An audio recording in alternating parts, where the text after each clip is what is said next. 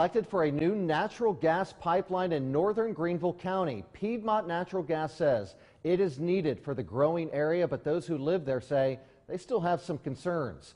7 News' is Ayla Ferrone joining us live now. So, Ayla, help us understand what this all means.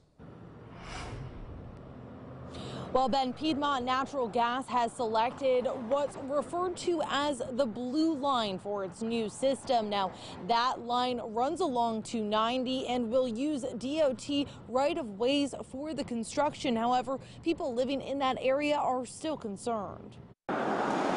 Colleen Patterson lives in northern Greenville County on Piedmont Natural Gas's previously proposed Green Line. It's better than the Green Line for us, but it's not great. She's glad the selected route won't go through her land, but says she doesn't trust that it won't change. You know, we're actually going to do the green route again because we've run into this obstacle or this cost on the blue route. She says it's the lack of transparency from PNG that makes her uneasy. I would like to see them be um, transparent in, in everything they're doing and why.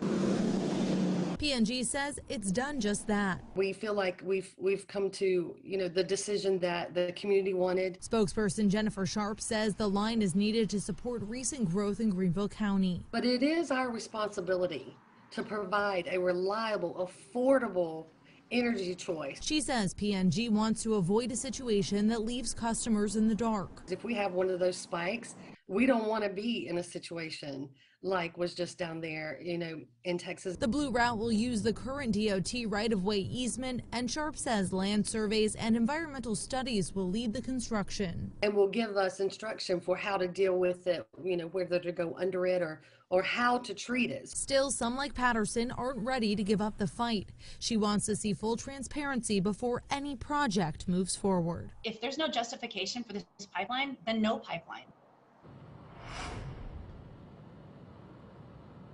The construction on that pipeline will begin in late 2022 and into 2023 with completion expected in 2024.